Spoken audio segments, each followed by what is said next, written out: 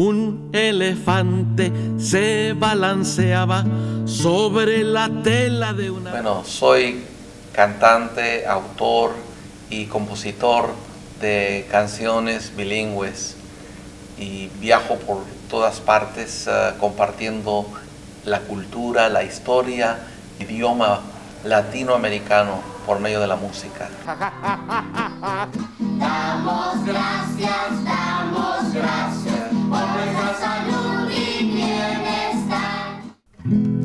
La víbora, víbora de la mar, de la mar, por aquí pueden pasar. Muchas de las canciones las aprendí de mi abuela paterna, de mi madre y también de las familias con las que viví en mis giras con el coro de niños de la Ciudad de México.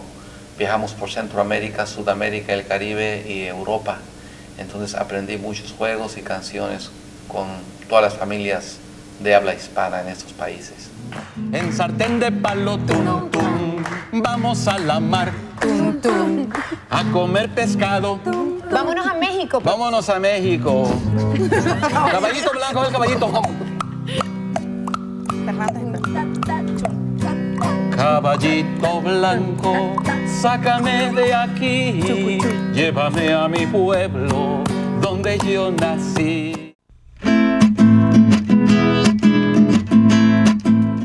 Gusta mucho trabajar con niños porque por medio de la música les enseño el idioma, la cultura, las tradiciones, puedo enseñarles los números, el abecedario, letras y muchas de las tradiciones y los juegos que se han cantado por siglos en nuestras comunidades de habla hispana.